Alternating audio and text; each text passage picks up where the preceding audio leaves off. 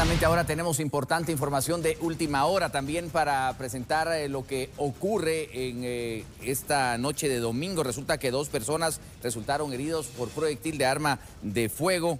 Ya son trasladados estables, pero uno de los heridos, verá usted, a continuación es un agente de Policía Nacional Civil. Es nuestro compañero Fernando Hernández, que tiene ya los detalles y con quien hacemos el cambio respectivo a través de la unidad móvil de Noticiete. Fernando, buenas noches, adelante.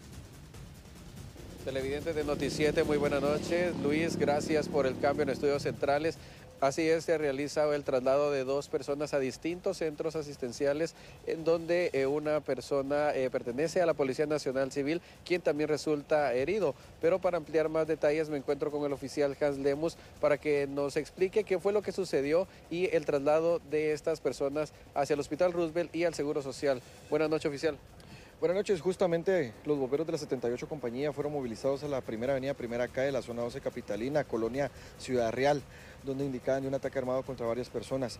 Al llegar al lugar se percatan que dos personas de sexo masculino estaban heridas en diferentes partes del cuerpo.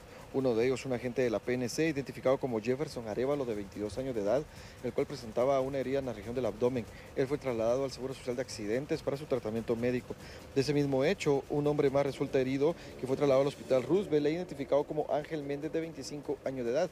Esta persona presentaba heridas en la región de la extremidad derecha inferior, justamente cerca de la donde esta persona fue herida. Cabe recalcar que ya quedaba a cargo de los médicos para poderle salvar la vida y asimismo eh, una pronta recuperación. De acuerdo, muchas gracias, oficial. Importante información, compañeros, acerca de esta situación. Ahora bien, la persona que es trasladada hacia el hospital Roosevelt, esta persona recibió un impacto de bala cuando eh, pasaba por el lugar y eh, se conducía a bordo de una bicicleta. Ahora, ¿qué fue lo que sucedió eh, con el agente de la Policía Nacional Civil? Él resulta con la herida de bala luego de que le empiezan a dar persecución a dos sicarios que también se encontraban a bordo de una motocicleta, mismo que eh, al momento de, presenciar a la policía, eh, los eh, malhechores empiezan a disparar y es por eso de que el agente de PNC termina herido y trasladado hacia el Seguro Social. Sin embargo, los sicarios lograron darse a la fuga y precisamente la persecución inicia después de que estos sicarios le dieran muerte a una persona precisamente en la Quinta Avenida 1 07 y eh, la persona fallecida corresponde al nombre de José Luis Mach, catalán de 24 años de edad. Es de esta manera como inicia esta persecución y resulta herido la gente de la Policía Nacional Civil y, este, y esta persona que se conducía en una bicicleta y también recibe un impacto de arma de fuego. Así que compañeros, este es el reporte que tenemos hasta el momento con imágenes de Eduardo Coco. Soy Fernando Hernández. Retornamos contigo al set principal. Luis, buena noche.